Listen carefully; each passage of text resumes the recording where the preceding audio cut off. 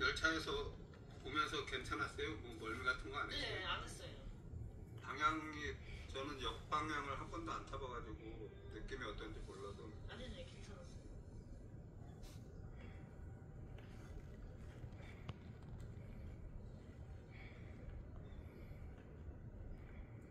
그거는 몰렸어요? 아직?